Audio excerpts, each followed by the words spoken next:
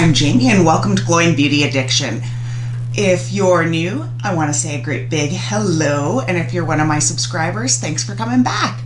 Today is the exciting BoxyCharm unboxing day. So I've got my box here. I haven't opened it, I haven't looked at any spoilers, hence the bare face. Before I open it, though, I have gone in, I'm trying a new primer, which is shocking. I have my holy grail, but I thought I would try this one. I saw another YouTuber recommend it. So far, it's working good.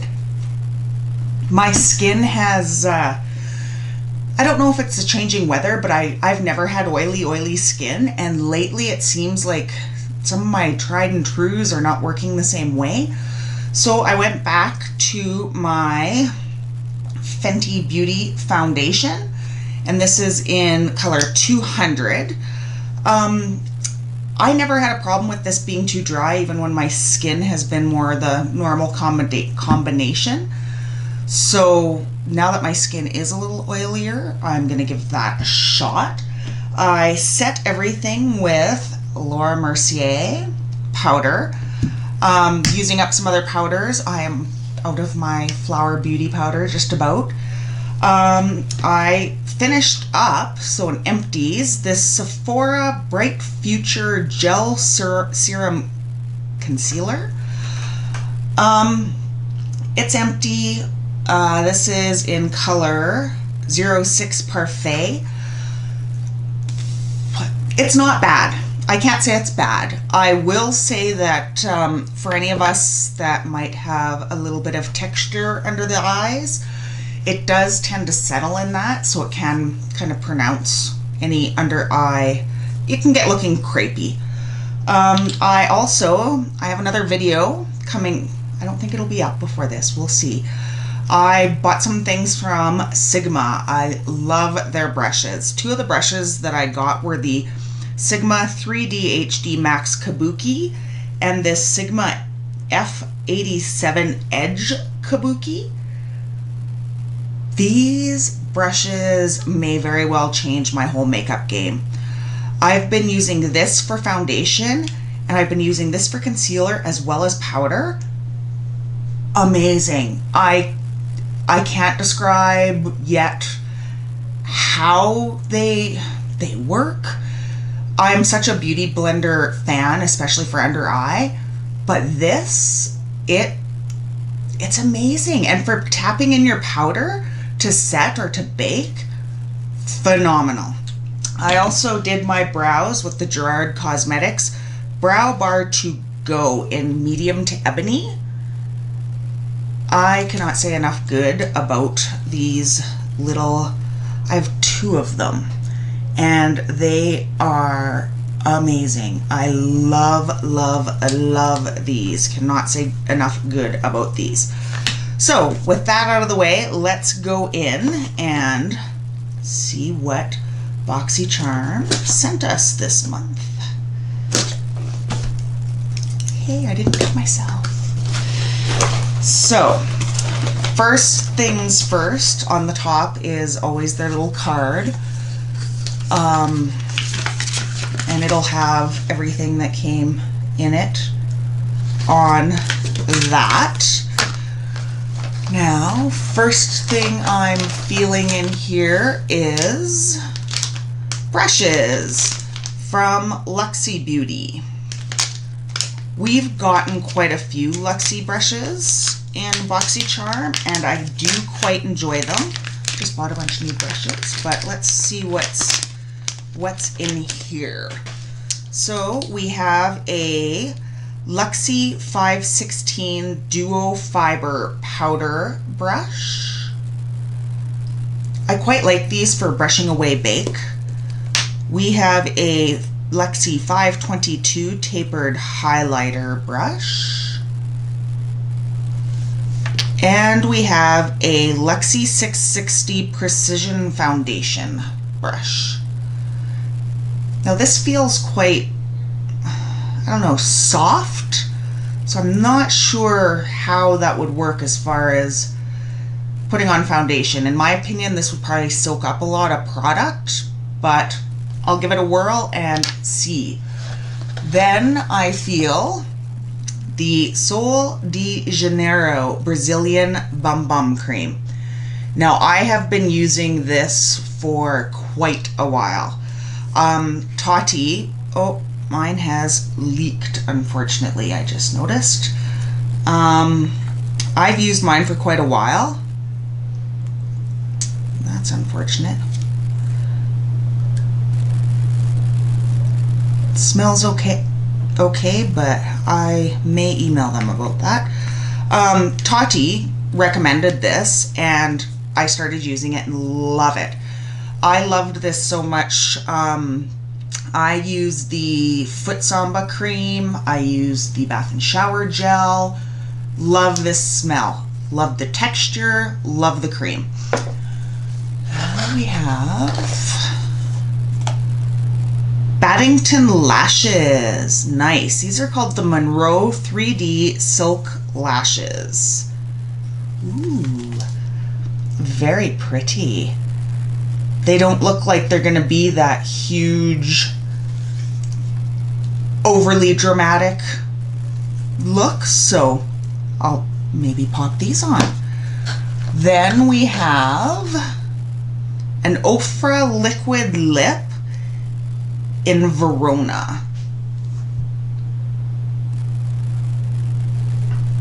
I don't think I have any Ofra lip products. Not a bad smell. Let's just give it a quick. That's very pretty. Very pretty. It seems to go on very smooth. I like that. I will give this a whirl as well. Then we have from JonteBlu 903 Dark Brown Eyeliner Pencil. I've never heard of this brand before. So we'll give that a whirl as well. Oh wow, it feels smooth. There was no tugging. It didn't feel hard. So give that a whirl. And lastly, we have Reina del Caribe Eyeshadow Palette Volume 1. I am probably really butchering that name. And this is from Alamar Cosmetics. That font is hard to read. That's my criticism so far. But let's take a look inside. Very pretty. Um, I am noticing that there's some fallout already on the packaging but very pretty. So I think what I'll do, so these videos aren't quite so long, is I will swatch these as well as finish up my look and I will be right back and let you know what I thought.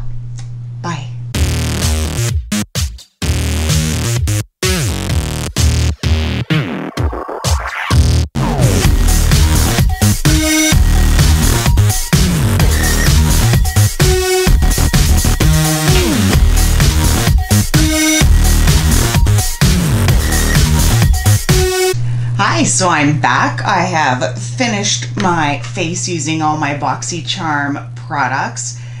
And right off the get go, I have to say, oh my goodness, if there's any way that you can get this, if you are not a BoxyCharmer, get it.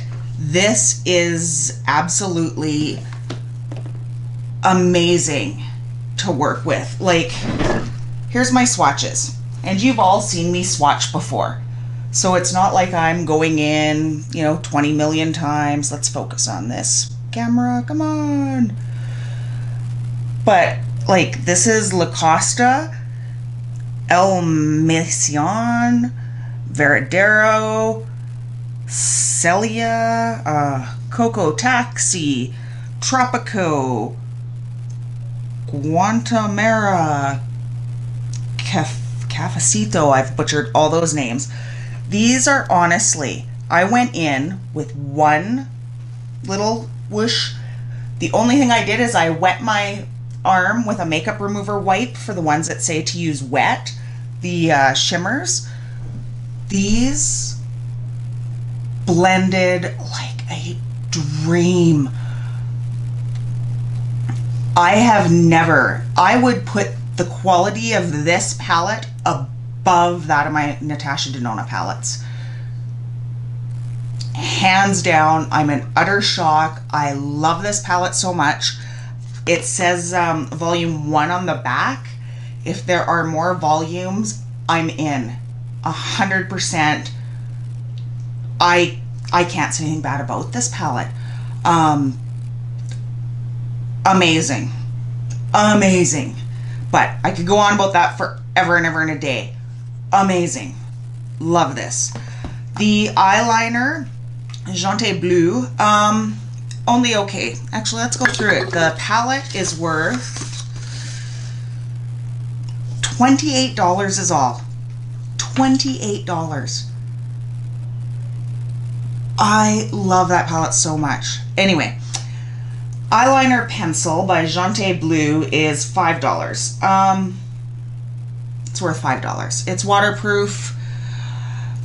It didn't go on the eyelid as smooth as it went on my hand. Now that may be because, you know, I had shadow on, whatnot, so it did skip a bit.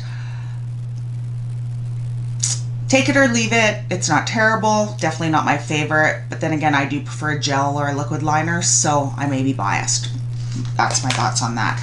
I put on the lashes. They are the Battington Monroe Silk Lashes. They go for $28. They're nice. They feel light.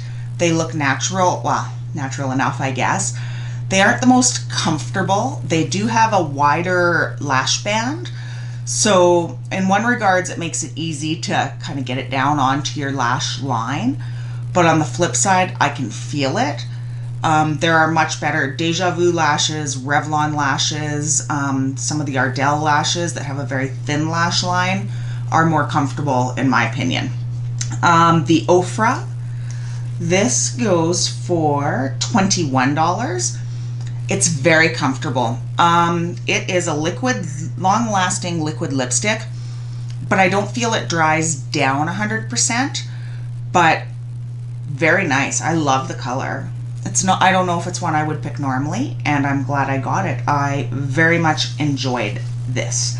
So, just to let you all know what I did to finish off my face, I did use the Burberry Cat Lashes mascara if you ever want to feel hoity, I love this mascara. It's got um, the thicker bristle type wand that I love.